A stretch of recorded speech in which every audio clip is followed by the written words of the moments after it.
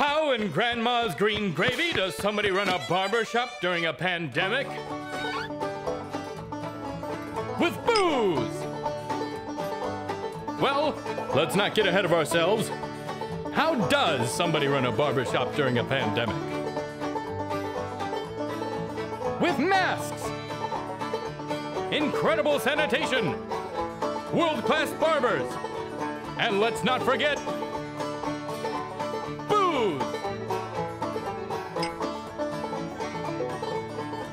Goodfellows Barbershop is the only one, two, three floors of its kind in Columbus.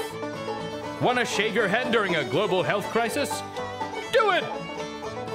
Want to have a drink out on our patio? Do that too! Safely! Six feet apart.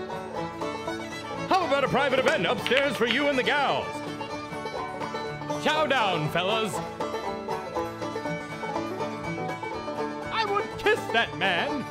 This girl was a delight to work with. Hey, put your mask back on. Good fellows. More than just your grandpa's barbershop. Now, with booze and masks. What year is it? I don't know.